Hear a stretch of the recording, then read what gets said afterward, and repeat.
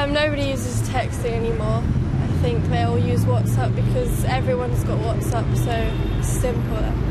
It's less hassle than Facebook, quicker, it's easier, we can get a group going, and I just generally prefer it. Just tell me about how it works with, with work and what you might use it for. Um, we've got a work group here, um, and we can just quickly kind of get hold of each other. We can it all comes through instantly, and yeah, it's just it's much easier than texting or phoning or anything like that. I don't actually study here. I study in Singapore, so everyone there uses WhatsApp only.